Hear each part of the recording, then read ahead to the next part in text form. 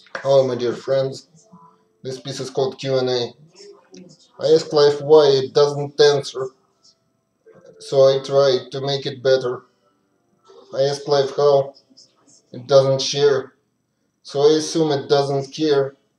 I ask life when it doesn't answer, so I go on with my adventure.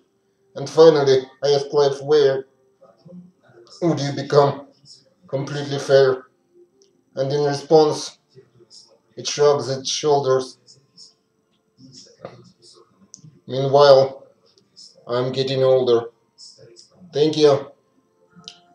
That was my Q&A session with life.